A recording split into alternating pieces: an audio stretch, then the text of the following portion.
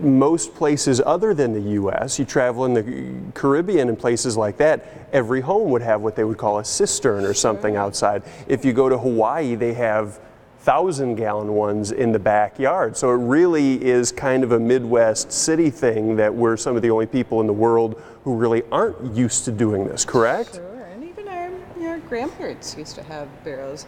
They used to have the old wooden barrels that they would use to collect water.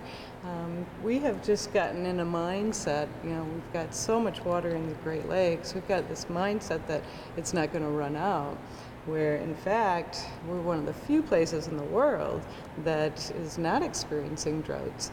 And so, um, you know, we need to be more aware of the fact that you know, this is a responsibility. It's just, it's not something to do only for conservation. It's a responsibility that we have. These are drums that we get from Coca-Cola Company. They've partnered with us and they've donated all these barrels, all the barrels that they have that they make their syrup, their Coca-Cola syrup into um, soda pop for us. Um, they've donated the pot or the barrels so that we can reuse these for our rain barrels. You really only need the barrel, you need the spigots, which you can buy anywhere, Lowe's, Home Depot, whatever, right. and something to connect this to.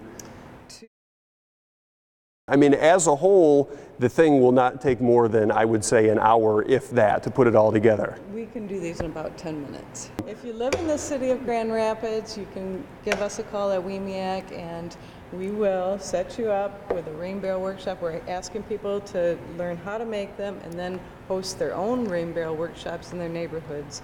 So, yeah, any resident of the city of Grand Rapids can host a party in their neighborhood.